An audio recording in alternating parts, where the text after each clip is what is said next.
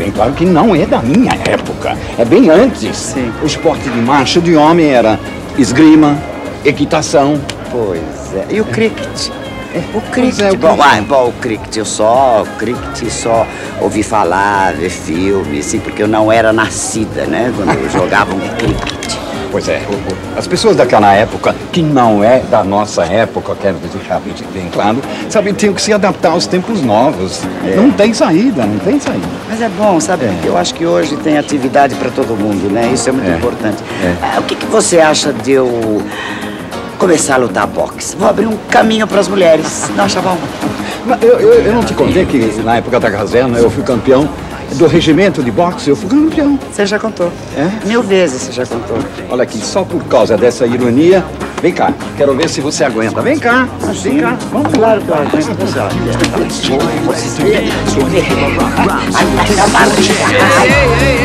pouquinho. Será que vocês não param de brigar nem um pouquinho, não?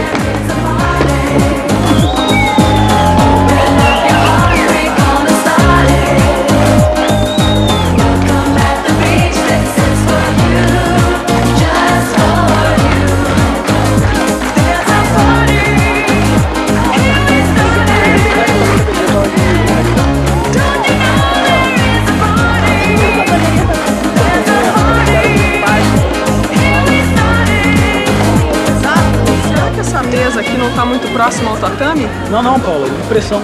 De acordo com as regras do esporte, a distância está correta. Bom, tá. Ai, meu Deus, tá me dando um certo nervosinho, viu? Por causa desse campeonato. Afinal de contas, tem, tem que sair tudo perfeito, né? O nome da malhação do jogo. Não, mas está tudo ótimo, Paula. Você não tá achando? Olha, é só olhar em volta.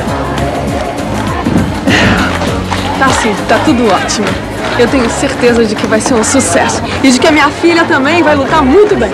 Certeza.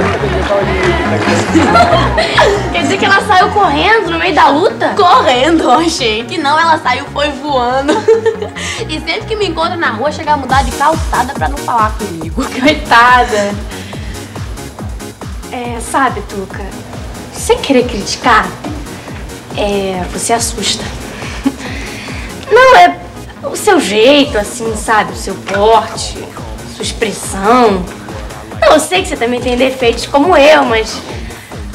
Não sei, mas é que você assusta a gente antes da gente começar a lutar. Ah, tu não devia pensar assim não, viu? Tu é das melhores, neguinha. Ah, perto de você. É. O que é? Porque eu fiquei com raiva de você. Não, porque eu já te achava imbatível. Aí você chegou, conquistou a simpatia da minha mãe, do, do dado. Não sei, Tuca, você pode até achar infantilidade minha, mas é porque eu fui a preferida do dado, você chegou de repente. E tu ficou com ciúme? Não, eu não tenho nada com dado. Não foi isso que eu quis dizer. Ciúme de aluna. Ou tem mais alguma coisa rolando? Não, o da- o dado nem olha pra mim, ele me acha uma pirralha. Ah, a diferença de idade não é tão grande assim não, Luísa. Sabia que um dia eu até me maquiei, coloquei um, um vestido decotado. Não fique com vergonha não, Luísa. Eu logo vi que tu gostava de dado. Mas eu já perdi as esperanças. Ele, ele me considera a aluna predileta dele, mas isso já basta pra mim. Mais uma aguinha de coco? Ah, tá. Explica, traz uma água de coco pra gente.